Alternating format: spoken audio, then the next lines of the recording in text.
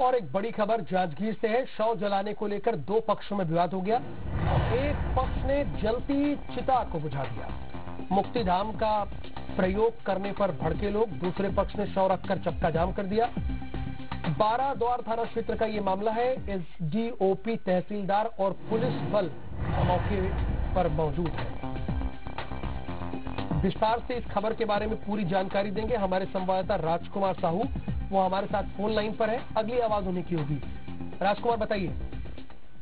देखिए, राहुल, ये बाराद्वार बस्ती का मामला है, जहाँ पर एक पक्ष के एक युवक की आज मौत हुई थी और उसके बाद से उस युवक के शव को जलाने के लिए पहुँचे थे। और यहाँ पर जो जिस पक्ष के लोगों ने ये शव लेकर पहुँचे थे, उनका कहना है कि उनका मुक्तिधाम में बारिश होने की संभावना थी इसलिए वो अपने मुक्तिधाम का वो उन लोगों ने प्रयोग नहीं किया। उसके बाद से जो दूसरे पक्ष के लोग थे, उन लोगों ने पहुँच करके आपत्ति की और जलती हुई सीता को बुझाया और जिसके बाद से ये आक्रोश बढ़ा है और इसमें जो जो दूसरे पक्ष के लोग हैं जिस पक्ष के ये युवक जो था, जो मृतक था, उस पक्ष के लोगों ने बाराद्वार जयजयपुर मुख्य मार्ग पर चक्का जाम किया है और इस मामले के सामने आने के बाद Champa S D O SDOP Baradwar तहसीलदार समेत कई थाना क्षेत्रों की पुलिस मौके पर है और फ़िलहाल लोगों से बातचीत की जा रही है।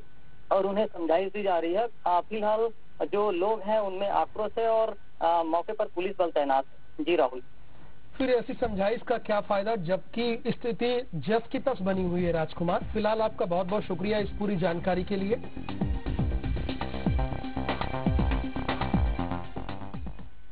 और यहाँ रुक रहे